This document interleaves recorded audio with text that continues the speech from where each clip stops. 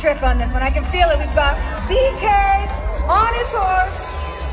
We've got Mike Bush, who's no stranger to tricks. All right, folks, he's getting... Next to her is Maurice Dace, who is going to be doing some slider interviews to her. Is a speed demon. Seriously, you cheer loud, this guy will rip. Yay! Camilla, she's a baddie.